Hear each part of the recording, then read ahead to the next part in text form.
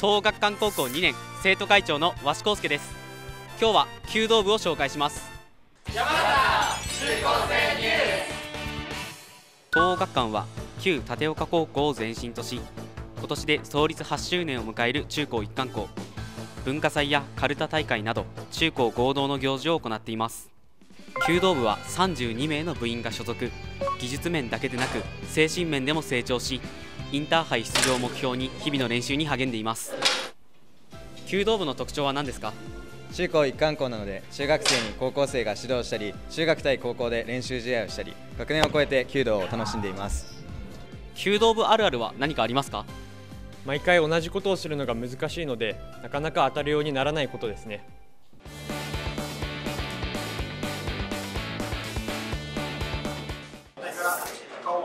元の方に向けてで上司